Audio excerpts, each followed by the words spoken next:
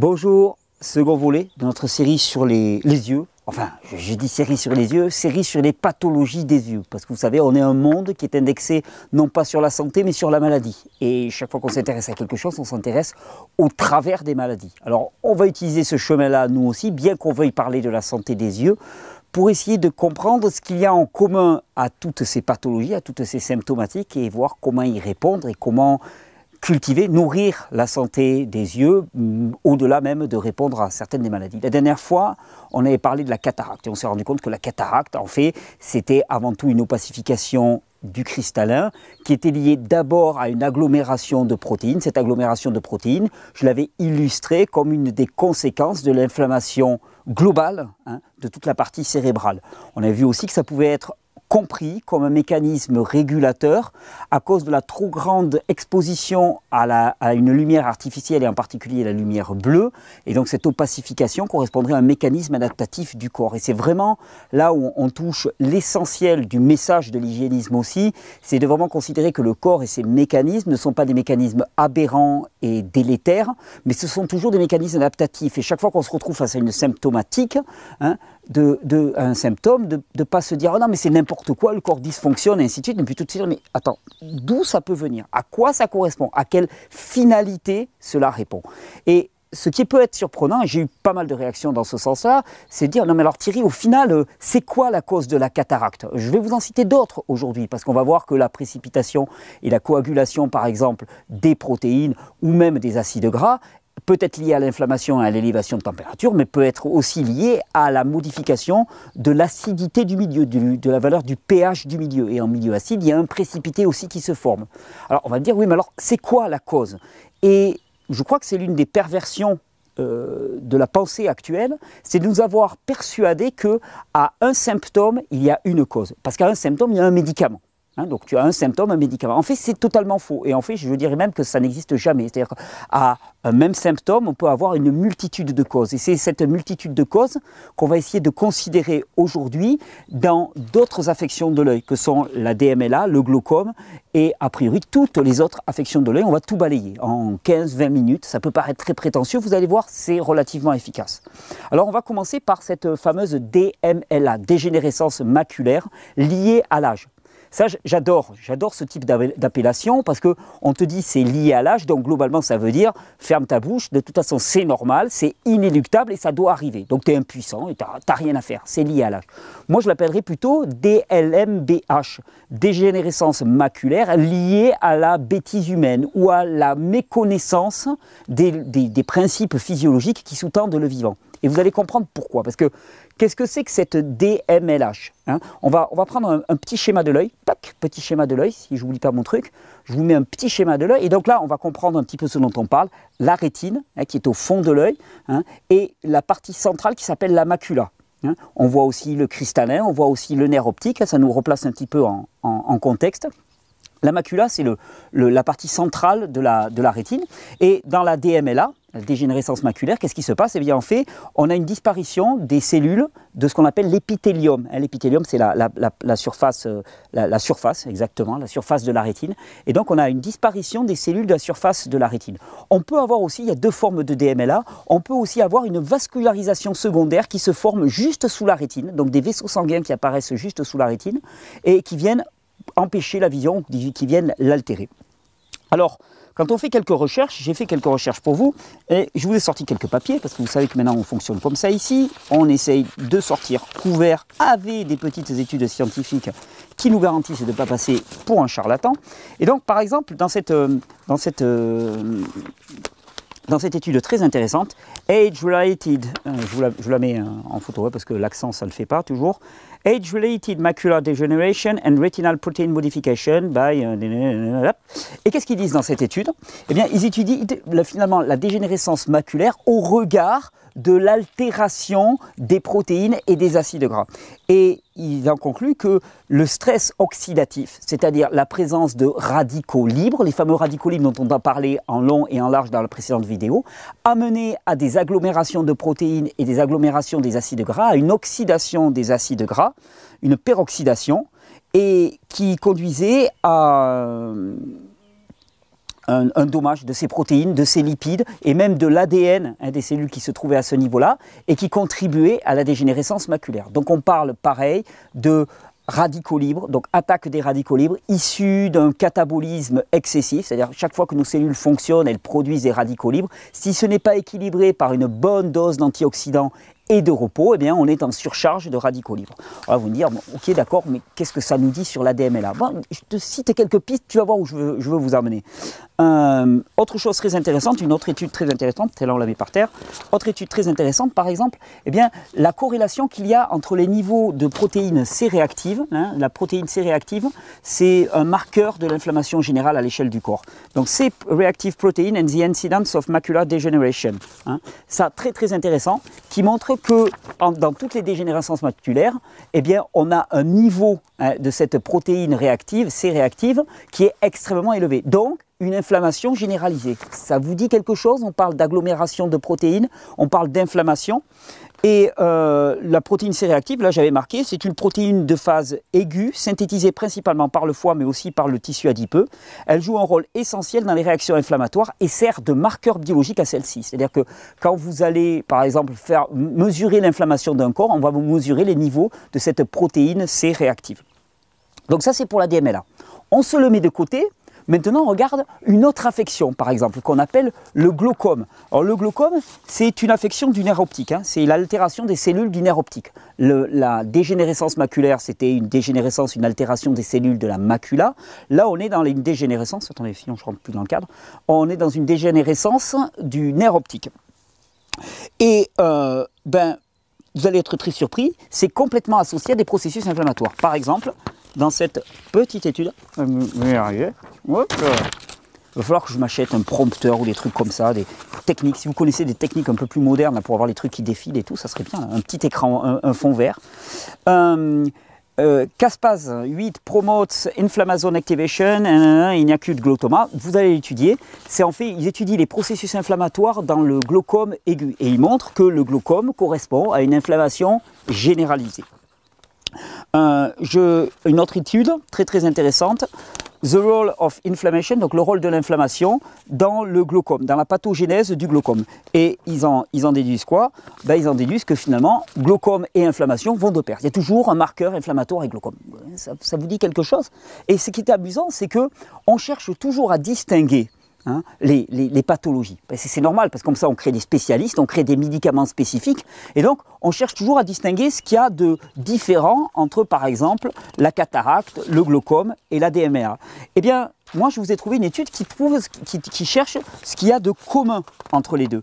Et par exemple, dans cette étude, hop, ça je le mets là, Association between open angle glaucoma and neovascular age-related macular degeneration, a case control study.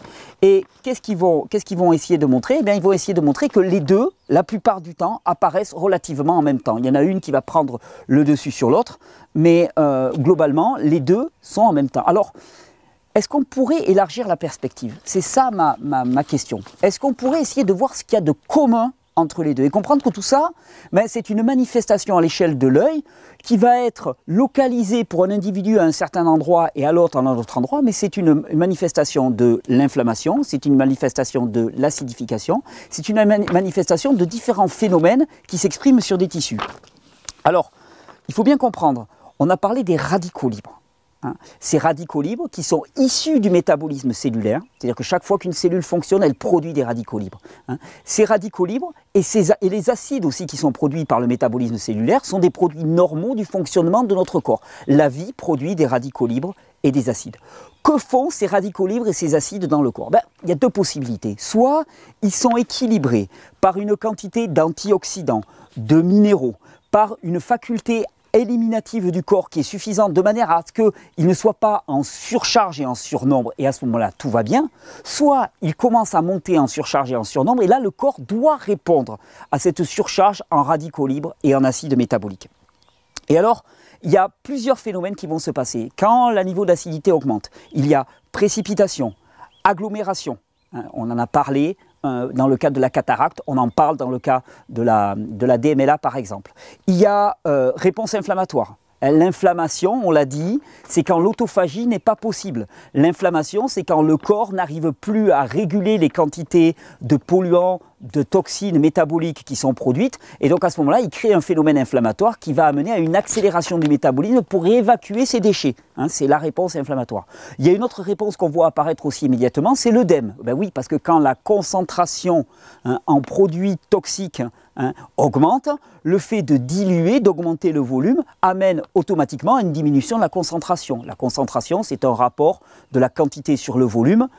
Tu augmentes le volume, ben, tu diminues la concentration. Alors, euh, un autre phénomène qu'on ne connaît pas assez avec l'acidification, c'est la sécheresse des milieux. Parce que l'acidité d'un milieu est mesurée dans la quantité d'ions H+, hein. bon c'est un peu de chimie, on va simplifier à l'extrême, mais ces ions qui sont les marqueurs de l'acidité se lient toujours à une molécule d'eau. Hein, pour former un, ion qu'on appelle H3 ou plus. Et chaque fois qu'on a un milieu dans lequel la concentration en acide est élevée, eh bien à ce moment-là, ça veut dire automatiquement que les molécules d'eau ont été phagocytées par ces ions, par ces protons H+, et donc ce sont des milieux déshydratés. Ce que je veux dire par là, c'est que quand on te parle de déshydratation, quand on te parle d'œdème, quand on te parle d'inflammation, quand on te parle d'acidification, et on parle exactement de la même chose. Et cette chose, c'est quoi? Ben, C'est simplement qu'il y a un rythme différent dans le corps entre la quantité de produits qui sont générés par le fonctionnement du corps et la quantité de produits éliminés, neutralisés par le corps. Il y a un déséquilibre. C'est juste une question de déséquilibre. Alors, il y a par exemple des phénomènes aussi qu'on appelle les drusènes. Hein. Les drusènes, ce sont des agglomérats de protéines ou de matières grasses hein, qui vont se produire à l'échelle de l'œil. Par exemple, là j'en avais un sur les drusènes qui était assez intéressant une petite étude très intéressante sur les drusènes. Alors, ouais, l'effet du pH sur la formation des cristaux d'oxalate de, de, calcium, hein, qui vous montre qu'en milieu acide, eh bien, le calcium précipite et fait des dépôts. Donc là aussi, les minéraux précipitent en milieu acide.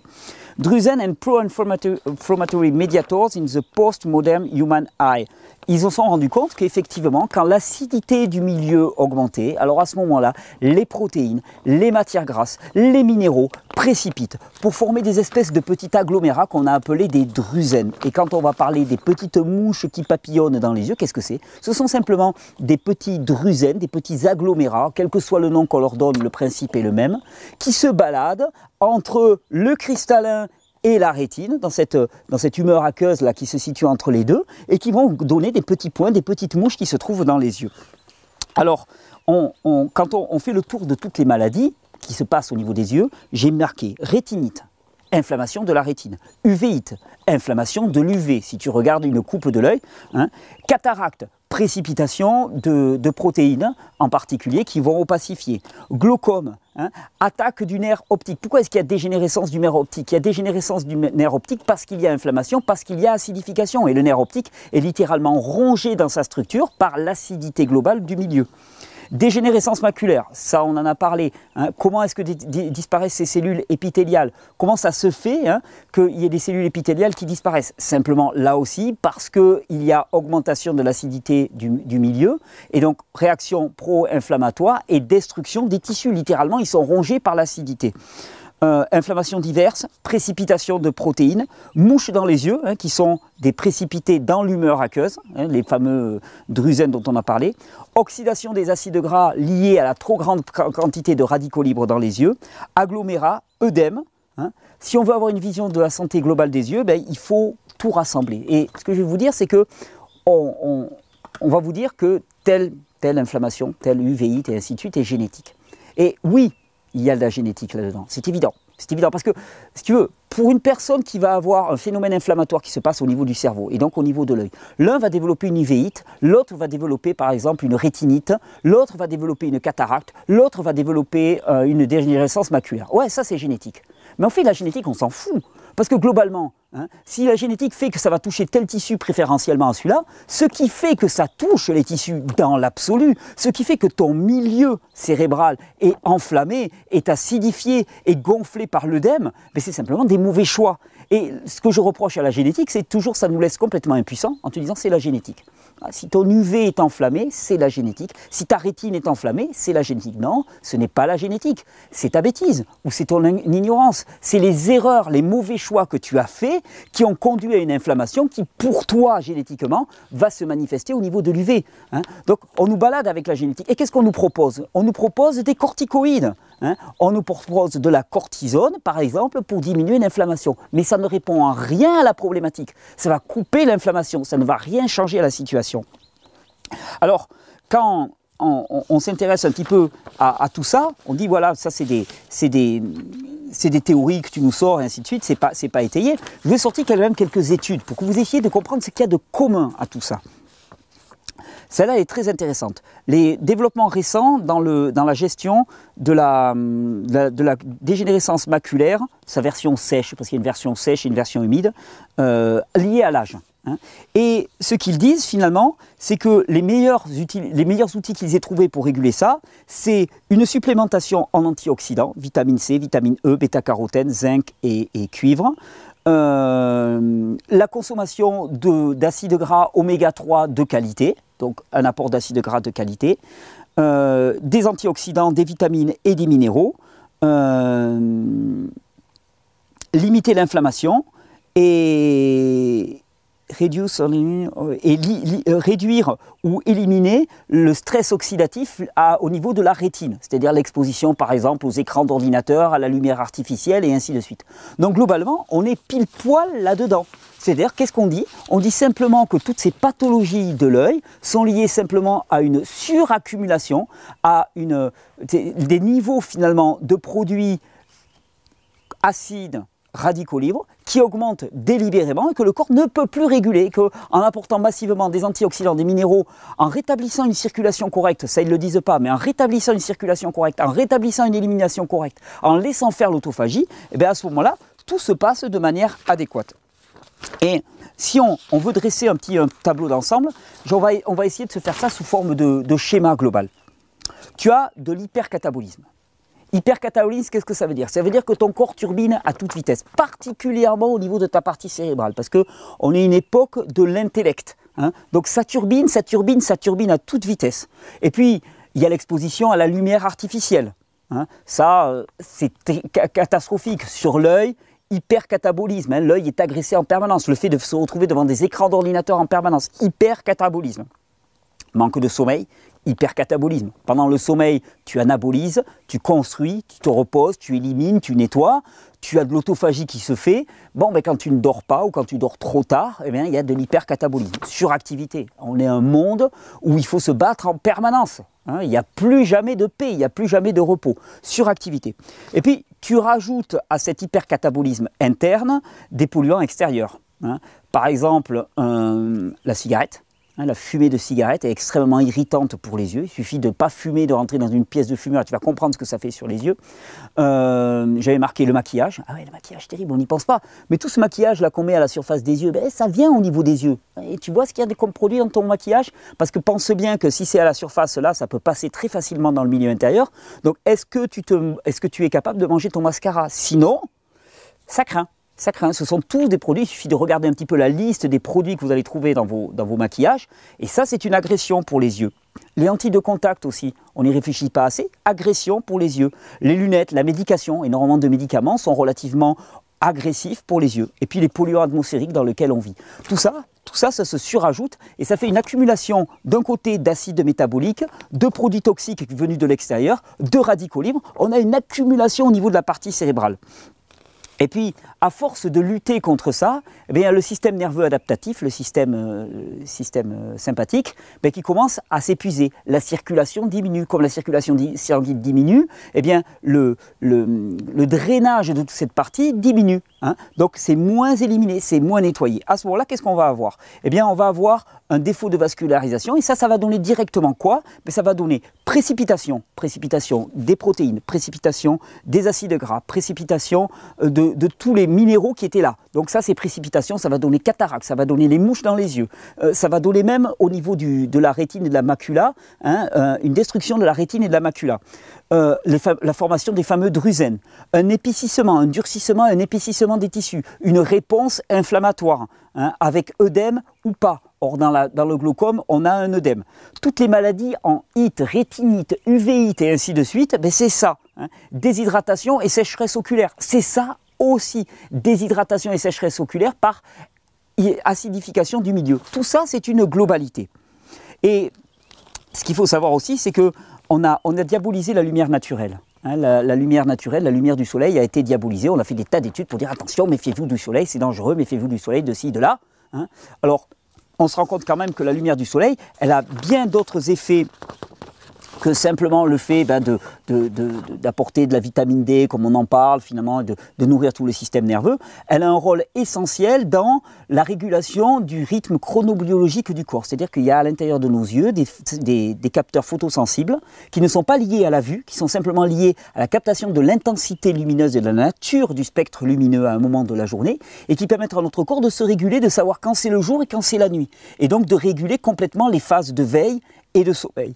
Et par exemple, dans euh, The Role of Environmental le rôle, de, le rôle de la lumière environnementale, donc la lumière artificielle, dans le sommeil et dans la santé, les effets du, vieillissement oculaire et de la de cataract surgery, donc de l'opération de, de la cataracte. Étude super intéressante qui montre que c'est un problème global qui touche toute la, partie cérébrale et que ça va de pair avec une dérégulation complètement des rythmes chronobiologiques corps.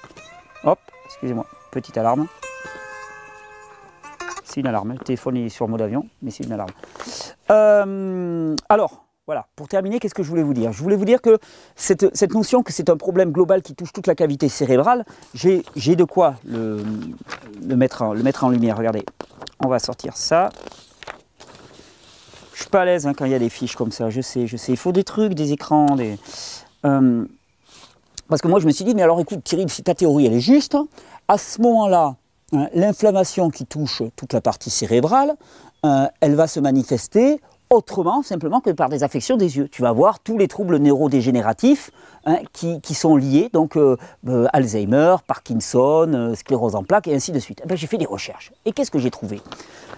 The eye as a biomarker, as a biomarker for Alzheimer's disease. La santé des yeux comme marqueur biologique de la maladie d'Alzheimer. L'un des premiers marqueurs de la maladie d'Alzheimer, c'est la baisse de la qualité de la fonction visuelle, hein, avec les petites mouches, le glaucome et ainsi de suite. C'est pour eux, c'est un marqueur absolu. Autre étude très intéressante. La vision dans la sclérose en plaques, Vision in Multiple Sclerosis, The Stories from and Models for Neuroprotection. Et qu'est-ce qu'ils disent? Ils disent la dysfonction visuelle, c'est un des plus commun, euh, des plus communes euh, manifestations cliniques de la sclérose en plaques. Et là, tu dis, ok, alors donc c'est effectivement ça. On a une inflammation globale à l'échelle du corps, et cette inflammation globale se manifeste de façon circonstanciée au niveau de l'œil. Et d'ailleurs, il y a, y a, encore une autre étude que j'avais trouvée. Attends ça. The eye as a biomarker. Voilà interconnection between brain and retinal neurodegeneration. Donc la connexion entre la dégénérescence de la, de la hum, brain, de, des méninges, je sais pas comment dire, du cerveau, pardon, et de la rétine.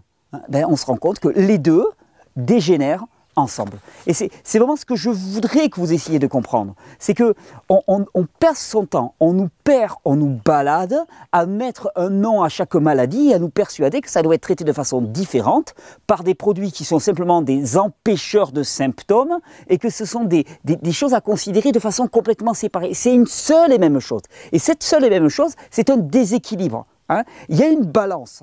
D'un côté, tu as des processus cataboliques, d'un côté, tu as des processus anaboliques. D'un côté, tu as l'action, de l'autre côté, tu as le repos. D'un côté, tu as la production par l'action de déchets, de l'autre côté, tu as l'élimination et le traitement et la neutralisation de ces déchets par le repos. Hein.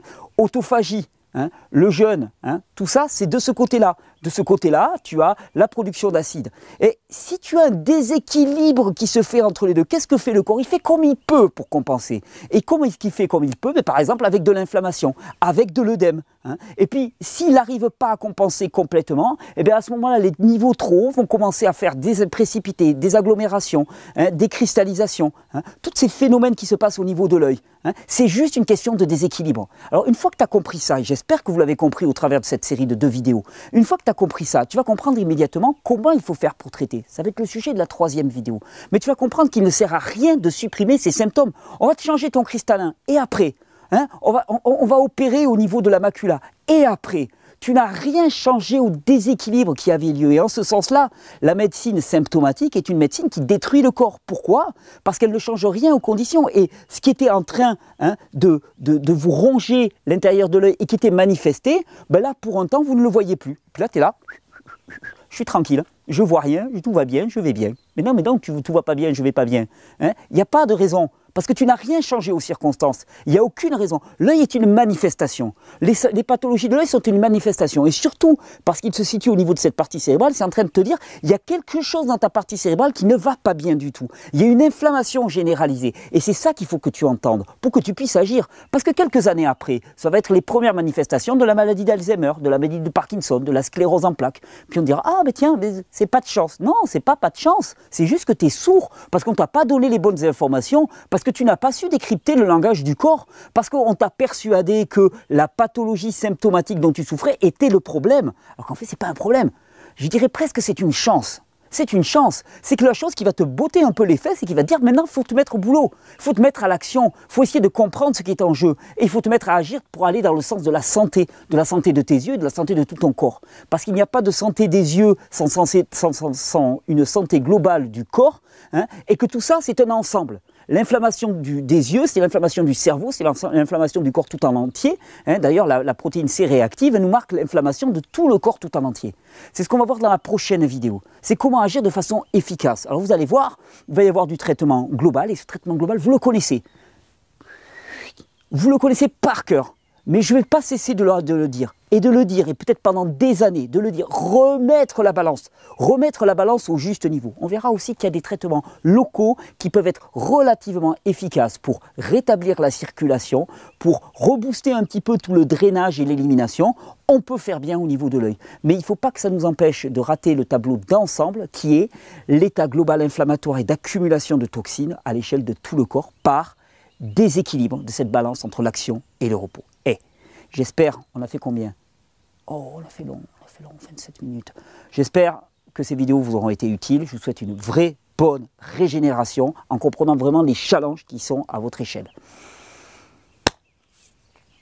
Comme toujours, petit rappel, pour ceux qui veulent aller plus loin que ces vidéos. Ouais, je le dis maintenant parce que j'aime bien faire de la pub pour les produits de notre association parce qu'on fait des trucs vraiment à la hauteur. Il y a des stages. Il y a un stage qui arrive du 6 au 12 mai. C'est le gros stage de l'année, donc soyez les bienvenus. Il reste encore quelques places. Ça se passe du côté d'Agen et ça va être une superbe fête. Il y a aussi pour ceux qui veulent une clé USB qui contient l'essentiel des cours, euh, des téléchargements. Les téléchargements correspondent à un cours encore plus poussé, destiné plutôt aux professionnels. La clé USB, c'est plutôt pour les personnes qui veulent s'instruire et qui veulent avoir des clés sans rentrer dans trop de complexité. Tout ça, ça se trouve sur la boutique du site régénère.org. Et puis, comme toujours, je vous remercie de balancer un petit pouce bleu pour soutenir ces vidéos et les diffuser d'autant plus que, comme il n'y a pas de publicité, elles sont moins visibles. Donc, avec un petit pouce bleu, ça les booste. Vous pouvez vous abonner à cette chaîne pour recevoir les notifications et savoir quand des nouvelles vidéos sont postées. Et vous pouvez aller vous balader sur la boutique de notre partenaire Régénérescence, qui non seulement propose des produits de très haute qualité et en particulier des mélanges de plantes médicinales, mais en plus est un partenaire, donc reverse une partie des bénéfices à l'association et à notre projet, ce qui permet de vous proposer des vidéos de meilleure qualité. Je vous souhaite une bonne régénération.